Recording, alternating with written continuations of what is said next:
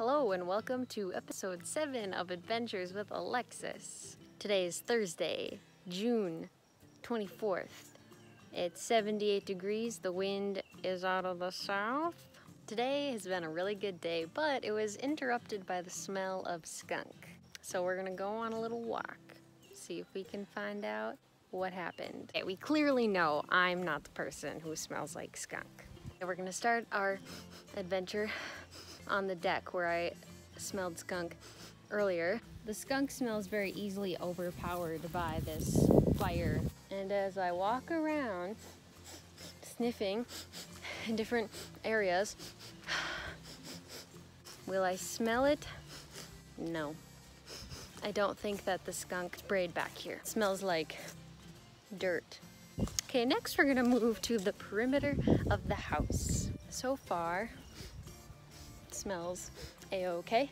No, what's that called? No nasal senses? Olfactory, olfactory senses are not giving me any hints. Say hello, Tig. Is he the skunk culprit?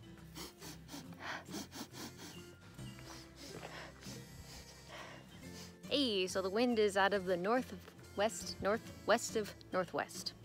What if it's coming from west of northwest of the house? In the meantime, let's do a little plant ID, shall we? Dandelion. This is called Hoary alyssum, or however you say it. Quaking aspen. There are some squirrels in a tree. They're like the size of small cats. Clovers. What is that?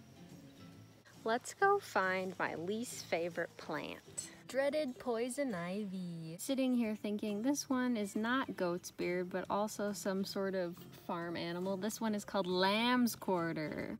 This little guy's yarrow. This fun one is wild strawberry. Dang, look at those columbines. Ooh. Ah. I have no idea about the skunk business. I'm tapping out.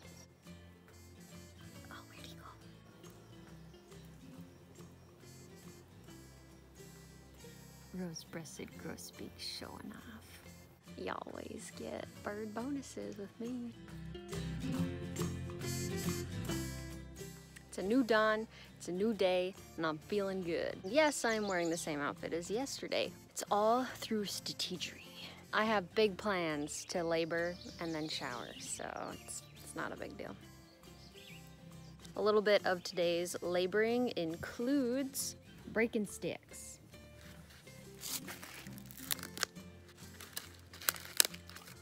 Alexis, that's stupid. Why are you sitting on the ground breaking sticks? Later, I'm having a bonfire. Alexis, what are you doing with your summer? Oh, you know, just breaking sticks. Whew! This evening, we are doing some berry picking. I will be collecting these blueberries. They're not blueberries, but they're blueberries. I will be putting my blueberries in my handy dandy fanny pack. Oops, that was really bad. Pick a berry, put it in the fanny pack. Okay, we can do this. I missed. Doo. Oop, wow.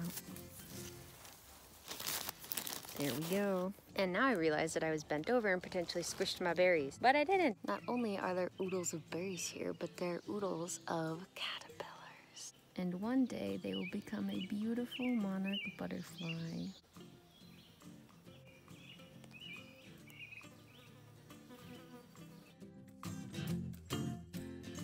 Let's give you an update on those caterpillars. I don't see any. There's one. Are those little caterpillar poops? Well, that one day I counted seven, then the next day I counted nine, and now there's only one. But I'll check back in tomorrow and see what's happening with our little caterpillars. Okay, couple updates for you. The sunflower has bloomed. I do not see any caterpillars, but I have found one chrysalis. I spy with my little eye a tree frog. Bless you, Butterfinger. I wonder who else we can find. Going back to that caterpillar, one day I saw seven, one day I saw nine, and after that I saw one, and now we see one in a chrysalis. So what happened to the other eight caterpillars? What's the survival rate of caterpillars in the wild? How many caterpillars will become a beautiful monarch butterfly? How many get eaten? How many die from the cold? How many get infected with a parasite? There's a dragonfly.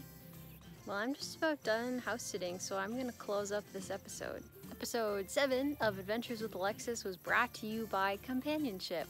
The companionship of a dog never fails. Say goodbye, Tag.